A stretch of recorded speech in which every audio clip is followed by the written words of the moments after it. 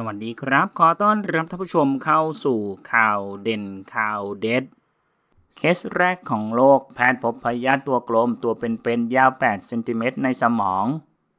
สำนักข่าวต่างประเทศรายงานกรณีทางการแพทย์อันน่าสยองที่เกิดขึ้นได้อย่างไม่คาดคิด เป็นกรณีแรกของโลก หลังแพทย์พบหนอนตัวเป็นๆสามารถอาศัยอยู่ในสมองของมนุษย์ได้ กลายเป็นฝันร้ายของคนทั่วโลกตามรายงานเหตุการณ์ดังกล่าวเกิดขึ้นที่ออสเตรเลีย นักวิจัยจากมหาวิทยาลัยแห่งชาติออสเตรเลียหรือ ANU และโรงพยาบาลแคนเบราค้นพบกรณีการติดเชื้อปรสิตใหม่ในมนุษย์รายแรกของโลก หลังจากที่ตรวจพบพยาธิตัวกลมขนาด 8 เซนติเมตรที่ยังมีชีวิตอยู่ในสมองของหญิงวัย 64 ปี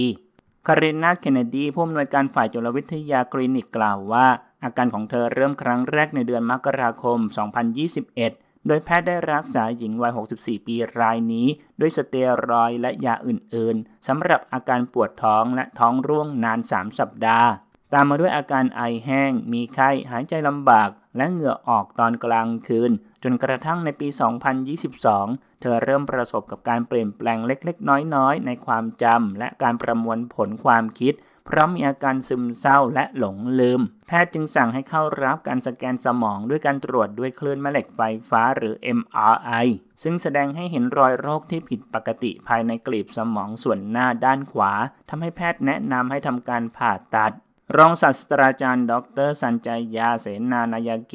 ผู้เชี่ยวชาญด้านโรคติดเชื้อได้รับโทรศัพท์จากศัลยแพทย์คนหนึ่ง โทรหาเขาและพูดว่า โอ้พระเจ้าคุณคงไม่เชื่อสิ่งที่ฉันเพิ่งพบในสมองของผู้หญิงคนนี้ และมันยังมีชีวิตอยู่ สิ่งที่ศัลยแพทย์ระบบประสาทที่โรงพยาบาลแคนเบราตรวจดูความผิดปกติ คือพยาธิตัวกลมสีแดงสดขนาด 8 เซนติเมตรที่ได้รับการยืนยันจากผู้เชี่ยวชาญด้านปรสิตวิทยา ว่าคือพยาธิออฟฟิดาสการิสโรบซีซึ่งยังมีชีวิตอยู่และดิ้นไปมา สิ่งที่ทำให้การค้นพบนี้แปลกยิ่งขึ้นไปอีก ราะพยาธิตัวกลมชนิดนี้มักพบในงูไม่ใช่ในมนุษย์ โดยทั่วไปมันจะอาศัยอยู่ในหลอดอาหารและกระเพาะของงูเหลือม และทิ้งไข่ลงในอุจจาระของงูเหลือม ซึ่งทางด้านแพทย์ไม่แน่ใจว่าปรสิตงูเข้าไปอยู่ในร่างกายของผู้หญิงคนนี้ได้อย่างไร เธอไม่ได้สัมผัสโดยตรงกับงูใด ๆ แต่เธออาศัยอยู่ใกล้ทะเลสาบ ซึ่งมีงูอยู่มากมาย โดยแพทย์ผู้เชี่ยวชาญกล่าวว่าตามความรู้ของเรา นี่เป็นกรณีแรกที่เกี่ยวข้องกับสมองของสัตว์เลี้ยงลูกด้วยนมทุกชนิด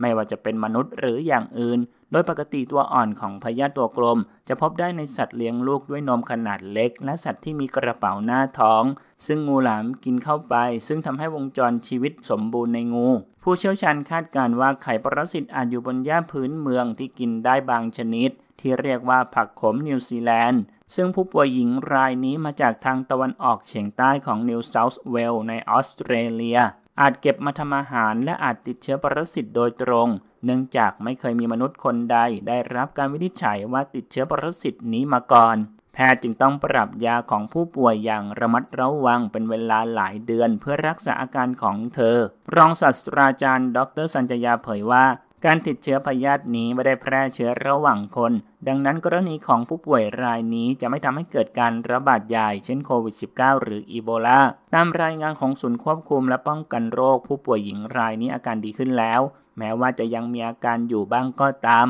การติดเชื้อครั้งแรกที่ไม่เหมือนใครนี้ ตอกย้ำถึงอันตรายของโรคและการติดเชื้อจากสัตว์สู่คนหมายความว่าโรคที่เคยพบเฉพาะในสัตว์ป่าเท่านั้น อาจกำลังเคลื่อนเข้าสู่ประชากรมนุษย์อย่างรวดเร็ว จากการติดเชื้ออุบัติใหม่ทั่วโลกประมาณ 75%เปอร์เซ็นเป็นโรคจากสัตว์สู่คน ซึ่งหมายความว่ามีการแพร่เชื้อจากสัตว์สู่มนุษย์ได้ง่ายกว่าที่คิด ซึ่งรวมถึงโคโรนาไวรัสด้วย รองศาสตราจารย์ดรสัญจยากล่าว รองศาสตราจารย์คารินาเคนเนดีกล่าวว่า ผู้ที่ทำสวนหรืออาหารควรล้างมือหลังทำสวนและสัมผัสผลผลิตที่เป็นอาหารสัตว์ อาหารใด ๆ ที่ใช้ทำสลัดหรือปรุง ควรล้างให้สะอาด รวมถึงพื้นผิวห้องครัวและเขียง